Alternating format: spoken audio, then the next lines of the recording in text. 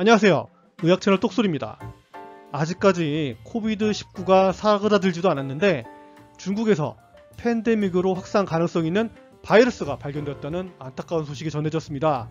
2020년 6월 29일 중국 농업대의 홍레이 선 연구팀이 미국 국립과학원에 발표한 논문에서 그 소식을 전하고 있는데요. 오늘은 이 논문 내용을 알아보도록 하겠습니다. 이 논문에는 인간에게 전염 가능한 H1N1 돼지 독감 바이러스, 즉 G4 EA H1N1의 존재를 밝혔습니다. G4 바이러스는 스페인 독감 바이러스의 기원을 두고 있는 2009년 잘 알고 계시는 신종 독감 바이러스의 특징을 가지고 있다고 합니다. 돼지는 유행성 인플루엔자 바이러스의 생성을 위한 중요한 숙주로 알려져 있죠. 이 이야기가 무슨 뜻이냐면 돼지를 잘 감시하면 다음에 발생 가능한 유행성 질병을 예측하거나 조기 경보로 사용할 수 있다는 뜻입니다. 기존에 유행했던 독감 바이러스와 비교했을 때이 G4 바이러스도 인간 수용체에 결합할 수 있고 인간 기도 상피세포에서 증식이 잘 이루어지고 효과적으로 감염이 된다고 합니다.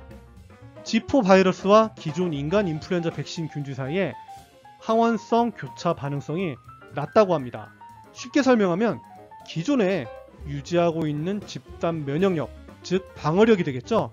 이 방어력이 G4 바이러스에는 작동하지 않는다는 뜻입니다.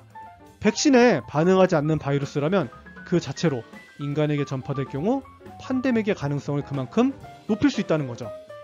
또한 돼지 농장에서 일을 하는 작업자들에게도 10에서 20%까지 G4 바이러스 혈청 유병률을 확인할 수 있었다고 하는데요.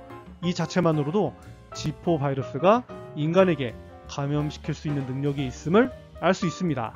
이러한 감염성으로 인해 바이러스가 인간에게 적응하여 유행성 바이러스의 발생 가능성에 대한 우려를 높일 수 있습니다.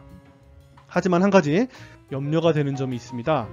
돼지로부터 사람이 감염되기는 하지만 사람으로부터 사람으로 전염이 가능한지 여부는 아직 밝혀지지 않았습니다. 2009년 신종 플루와 같은 상황이 벌어지지 않기를 바랄 뿐이죠. 이상 의학 채널 똑소리 돼지 독감에 대해 알아봤습니다. 응급의학과 전문의 가인구입니다. 감사합니다.